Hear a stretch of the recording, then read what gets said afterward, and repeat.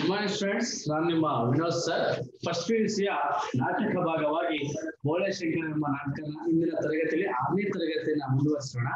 ಎಲ್ಲರಂಥವಳೆಲ್ಲ ನಮ್ಮ ಆಕೆ ಅಂದ್ರೆ ಇಲ್ಲಿ, ಎಲ್ಲಿ ಈ ಒಂದು ನಾಟಕ ಭಾಗದಲ್ಲಿ ಬೋಳಶಂಕರ ಇರಬೇಕಾದ್ರೆ ಇಲ್ಲಿ ರಾಜಕುಮಾರಿಯ ಪ್ರವೇಶ ಅನ್ನೋದು ಅವಳ ಬಗ್ಗೆ ಹೇಳುವ ನಾವು ನೋಡೋಣ. ಅವರಲ್ಲಿ ಒಂದು ಡಂಗೂರನ್ನ ಸಾಧಿಸ್ತಾ ಇರ್ತಾರೆ. ಯಾವುದರಲ್ಲಿ? ಶಿವಪುರದಲ್ಲಿ ಡಂಗೂರನ್ನ ಸಾಧಿಸ್ಬೇಕಾದ್ರೆ ಡಂಗೂರ ಏನಂತ ನೋಡೋಣ. ಬೋಳೆಶಂಕರ ನೋಡಿ ಬೋಳೆಶಂಕರ ಮತ್ತು ಕೋಡಂಗಿ ಇಬ್ರು ಜೊತೆಯಲ್ಲಿ ಇದ್ದಾರೆ. ಅವನು ಈ ರೀತಿಯಾಗಿ ಕೇಳ್ತಾ ಇರ್ತಾನೆ. ಕೋಡಂಗಿ ತುಂಬಾ ಖುಷಿಯಿಂದ ಇರ್ತಾನೆ. ಅವಾಗ ಬೋಳೆಶಂಕರ ಕೇಳ್ತಾನೆ. ಏನಯ್ಯ ಕೋಡಂಗಿ? ತುಂಬಾ ಖುಷಿಯಿಂದ ಇರೋ ಹಾಗಿದೆ ಆ ಕೋಡಂಗಿನ ಕೇಳ್ತಾ ಇದ್ದೀನಿ. ತುಂಬಾ ಖುಷಿಯಲ್ಲಿದೆಯಾ. ಏನು ವಿಚಾರ ವಿಚಾರ ಏನು, ವಿಷಯ ಏನು ಅಂತ ಹೇಳಿ ಕೇಳಿದಾಗ ಡಂಗೂರ ಕೇಳಲಿಲ್ಲವೇ ಕೋಡಂಗಿ ಹೇಳ್ತಾರೆ ಏನ್ ಕೇಳಿಲ್ಲ? ಡಂಗೂರ ಅನ್ನೋದು ಕೇಳಲಿಲ್ಲವೇ ಇಲ್ಲವಲ್ಲ? ಏನು ವಿಷಯ? ಅವನು ಮತ್ತೆ ಬೋಳಶಂಕರ ಹೇಳ್ತಾನೆ ಇಲ್ಲ ಅಲ್ಲ? ಏನು ವಿಷಯ? ರಾಜಕುಮಾರಿಗೆ ಹೊಟ್ಟೆ ನೋವು, ಅವನು ಹೇಳ್ತಾನೆ, ಯಾರೋ ಕೊಡಂಗಿ ರಾಜಕುಮಾರಿಗೆ ಏನಾಗಿದೆ ಈಗ? ಹೊಟ್ಟೆ ನೋವು ಬಂದಿದೆ. ಓ, ಅದಕ್ಕೆ ಸಂತೋಷ ಪಡ್ತಿದೀಯಾ? ಇವನು ಇಷ್ಟೊಂದು ಖುಷಿಯಾಗಿರೋದ್ರಿಂದ ಕೊಡಂಗಿ ಅವ್ನು ಕೇಳಿದ್ನಲ್ವಾ? ಯಾಕೆ ಇಷ್ಟೊಂದು ಸಂತೋಷದಿಂದ ಅಂತ? ಅದಕ್ಕೆ ಸಂತೋಷ ಪಡ್ತಿದೀಯಾ? ಹಂಗಲ್ಲಪ್ಪ, ಅದನ್ನ ವಾಸಿ ಮಾಡಿದವರಿಗೆ ಭಾರಿ ಬಹುಮಾನ ಕೊಡ್ತಾರಂತೆ. ಯಾವ್ದನ್ನ? ರಾಜಕುಮಾರಿಯ ಹೊಟ್ಟೆ ನೋವನ್ನ ವಾಸಿ ಮಾಡಿದವರಿಗೆ ಭಾರಿ ಬಹುಮಾನ ಕೊಡ್ತಾರಂತೆ. ಅಲ್ವಾ? ಹೌದು, ವಾಸಿ ಮಾಡಿದವ್ರು ಕೊಡ್ತಾರೆ. ನಿನಗಲ್ವಲ್ಲ? ಅವ್ರು ಕೇಳ್ತಾನೆ ಅಂತ ಅದು ಹೊಟ್ಟೆನ ವಾಸಿ ಮಾಡಿದವರಿಗೆ ಕೊಡ್ತಾರೆ. ಭಾರಿ ಬಹುಮಾನ. ನಿನಗಲ್ಲ ಅಲ್ವಾ? ನೀನು ಹೀಗೆ ಕೈ ಬಿಟ್ರೆ ನಾನು ಬೋಳೆ ಬೋಳಶಂಕರ ನಿನ್ನ ಹತ್ತಿರ ಆ ಬೇರೆ ಇದೆಯಲ್ಲ ಅವನು. ನೀನ್ ಇದೇ ರೀತಿಯಾಗಿ ನಾನು ಏನಾದ್ರು ಕೈ ಬಿಟ್ಬಿಟ್ರೆ, ನಾನು ಬದುಕನ ಬದುಕನ ಆಗುತ್ತಾ? ಆಗಲ್ಲ ನಿನ್ನ ಹತ್ರ ಬೇರೆ ಇದೆಯಲ್ವಾ ಯಾವುದು? ಆ ಪಿಶಾಚಿ ಕೊಟ್ಟಿರುವಂತಹ ಮೂರು ಬೇರೆ ಇತ್ತಲ್ಲ, ಆ ಬೇರೆ ಇದೆಯಲ್ವಾ ನಿನ್ನ ಹತ್ರ? ಯಾವುದಪ್ಪ? ಅದೇ, ನಿನ್ನ ಹೊಟ್ಟೆ ನೋವಿಗಾಗಿ ಮೊನ್ನೆ ಆ ಪಿಸಾಚಿ ಕೊಟ್ಟಿತ್ತಲ್ಲ ಅವನೇನ್ ಮಾಡ್ತಾನೆ ಅವನ್ ನೀನ್ ಕೊಟ್ಟಿತ್ತಲ್ಲ ಬೇರು ಅದನ್ನ ಹತ್ರ ಇದೆ ತಾನೆ. ಬೋಳೆಶಂಕರ ಜೇಬುಗಳಲ್ಲಿ ಹುಡುಕಿ, ಹೌದು, ಇದೆ. ಅದನ್ನ ಕೊಟ್ಟರೆ ಹೋಗಿ ರಾಜಕುಮಾರಿಗೆ ಕೊಟ್ಟು ವಾಸಿ ಮಾಡಿ ಬಹುಮಾನ ಗಿಟ್ಟಿಸಿಕೊಂಡು ಬರೋಣ ಅಂತ. ಬಹುಮಾನದಲ್ಲೂ ನಿನಗೂ ಅಷ್ಟು ಇಷ್ಟ?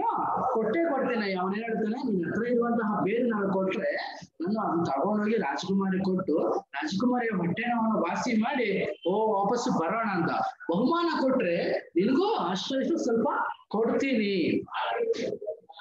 ಅದಕ್ಕೇನಂತೆ, ಕೊಡೋಣ ಬಿಡು. ಒಬ್ಬರಿಗೆ ನೋವಿದ್ದಾಗ ಮದ್ದಿಟ್ಟುಕೊಂಡು ಸುಮ್ಮನೆ ಇರ್ಲಿಕ್ಕಾಗುತ್ತಾ ಅಂದ್ರೆ ಒಬ್ಬರಿಗೆ ನೋವಾಗ್ತಾ ಇದೆ ಅಂತ ಹೇಳಿದ್ರೆ ನಮ್ಮ ಹತ್ರ ಅದಕ್ಕೆ ಔಷಧಿ ಇಟ್ಕೊಂಡು ಮದ್ದಿಟ್ಕೊಂಡು ಸುಮ್ಮನೆ ಇರಕ್ಕಾಗುತ್ತಾ? ಅರಮನೆಗೆ ಯಾವಾಗ ಹೋಗ್ತೀಯಾ? ಅವ್ನು ಕೇಳ್ತಾರೆ ಯಾರನ್ನ ಕೊಡಂಗಿನ ಅರಮನೆಗೆ ಯಾವಾಗ ಹೋಗ್ತೀಯಾ? ಕೊಟ್ಟರೆ ಈಗಲೇ ಹೋಗ್ತೇನೆ. ಆದರೆ ಒಂದು ಅನುಮಾನ. ಸಾಮಾನ್ಯವಾಗಿ ರಾಜಕುಮಾರಿಯ ರೋಗ ವಾಸಿ ಮಾಡಿದವರಿಗೆ ರಾಜಕುಮಾರಿನೇ ಮದುವೆ ಮಾಡಿಕೊಡೋದು ಕಥೆಗಳಲ್ಲಿ ಪದ್ಧತಿ ಅಲ್ವಾ? ಒಂದು ಒಂದು ಡೌಟ್ ಬರ್ತದೆ ಕೊಡಂಗಿಗೆ ಏನಂತ ನೀವಾಗ ಏನಾದ್ರು ನಾನು ಬೇರೆ ಕೊಟ್ಟಿದ್ದೀನಿ ಅಂದ್ರೆ ಈಗ ನಾನು ಹೊರಡ್ತೀನಿ. ಹಳೆ ಕಾಲದಲ್ಲಿ ನಾವು ನೋಡಿದೀವಲ್ಲ ರಾಜಕುಮಾರಿಗೆ ಏನಾದ್ರು ವಾಸಿ ಮಾಡಿದ್ರೆ ಅವ್ರಿಗೆ ಇರುವಂತ ರೋಗನ ವಾಸಿ ಮಾಡಿದ್ರೆ, ರಾಜಕುಮಾರಿನ ಕೊಟ್ಟು ಮದುವೆ ಮಾಡ್ತಾರಲ್ವಾ? ಅದೊಂದು ಪದ್ಧತಿ ಅಲ್ವಾ ಅಂತೇಳಿ ಈ ಕೋಡಂಗಿ ಕೇಳ್ತಾ ಇದ್ದಾನೆ. ಯಾರನ್ನ ಬೋಳೆಶಂಕರ್ನ ಕೇಳ್ತಿದ್ದಾನೆ. ಹಾ, ಅದನ್ನ ಕೇಳಿಸ್ಕೊಂಡಂತಹ ಬೋಳೆಶಂಕರ ಭಲೆ.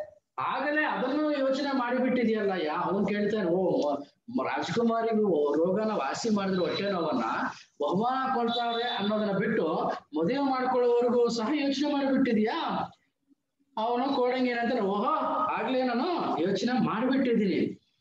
ಅಷ್ಟರಲ್ಲಿ ಮುದುಕಿಯೊಬ್ಬಳು ಅಳುತ್ತಾ ಬರುವಳು. ಅಲ್ಲಿಗೆ ಯಾರು ಬರ್ತಾರೆ ಇವಾಗ? ಈ ನಾಟಕ ಭಾಗದಲ್ಲಿ ಬೋಳೇಶಂಕರ ಮತ್ತು ಕೋಡಂಗಿ ಇಬ್ರು ಇದಾರಲ್ವಾ ಅಲ್ಲಿಗೆ ಮುದುಕಿಯೊಬ್ಬಳು ಅಳುತ್ತಾ ಅಲ್ಲಿಗೆ ಪ್ರವೇಶವನ್ನು ನೀಡ್ತಾಳೆ ಬೋಳೇಶಂಕರ ಕೇಳಿದ ಏನಂತ?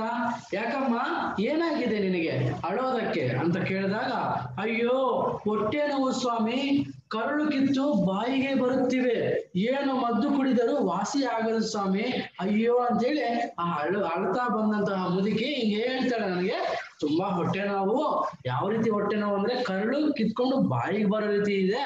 ಯಾವ ಮದ್ದು ಕುಡಿದ್ರು ಸಹ ವಾಸಿ ಆಗ್ಲಿಲ್ಲ ಅಂತೇಳಿ ಆಕೆ ನೋವನ್ನು ಪಡ್ತಾ ಇದ್ದಾಳೆ ಯಾರು? ಅಲ್ಲಿಗೆ ಬಂದಂತಹ ಆ ಮುದುಕಿ.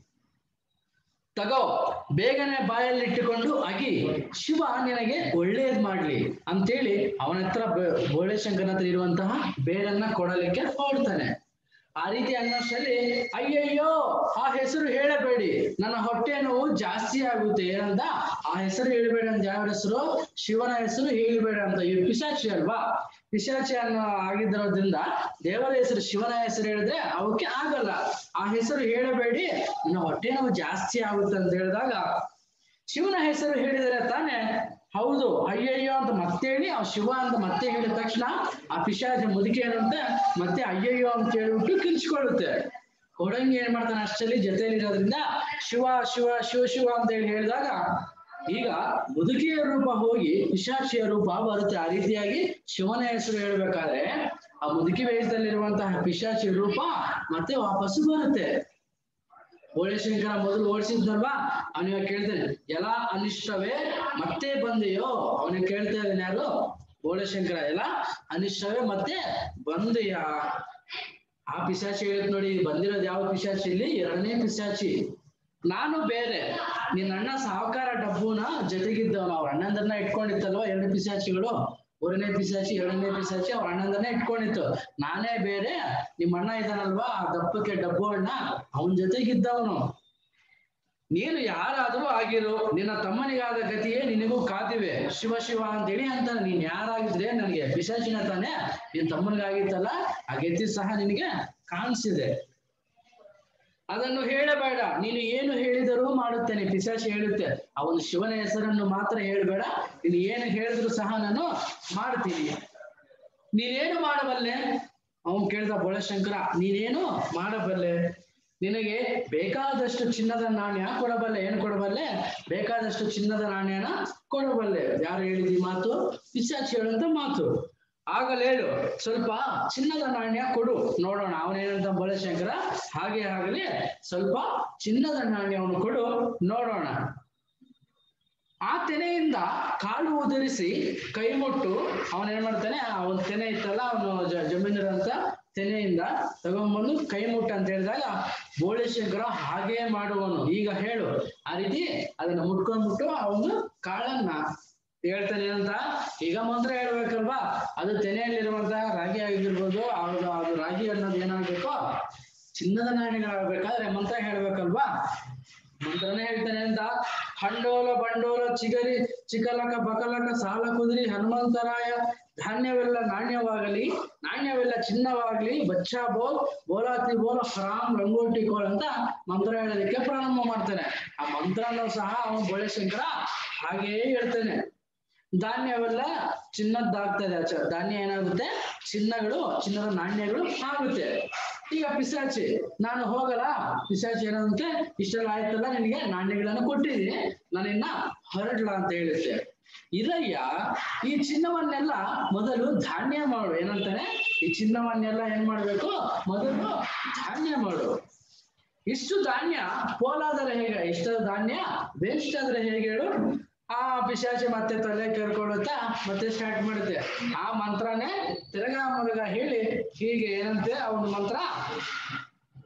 ಕಲಬಕ ಕಲಕಚಿ ರಿಗಚಿ ಲಂಡೋರ ಕಿರಿ ಸಾಲ ಕುದಿರಿ ಹನುಮಂತರಾಯ ಚಿನ್ನವೆಳ್ಳ ನಾಣ್ಯವಾಗಲಿ, ನಾಣ್ಯವೆಲ್ಲ ಧಾನ್ಯವಾಗಲಿ, ಬಚ್ಚ ಬೋಲ್, ಬೋಲಾತಿ ಬೋಲ್, ಹೆಣ್ಣು ರಂಗೋಟಿ ಕೋಲ್ ಅಂತ ಅದೇ ಮಾತ್ರನೇ ತಿರುಗಿ ತಿರುಗಿ ಹೇಳ್ತಾ ಬರುತ್ತೆ ಯಾವುದು ಎರಡನೇ ಪಿಶಾಚಿ. ಈಗ ಮೊದಲು ಧಾನ್ಯವೆಲ್ಲ ಚಿನ್ನ ಆಗಿತ್ತಲ್ವಾ ಈಗ ಮತ್ತೆ ತಿರುಗಾ ಮಂತ್ರ ಹೇಳಿದ್ದಕ್ಕೆ ಈಗ ಚಿನ್ನ ಎಲ್ಲ ಏನಾಗುತ್ತೆ?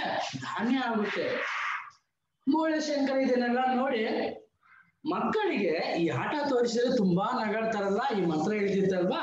ಈ ಆಟನ ತೋರಿಸಿದ್ರೆ ತುಂಬಾ ನಗಾಡ್ತಾರಲ್ವಾ? ಈಗ ನಾನು ಹೋಗಲ್ಲ.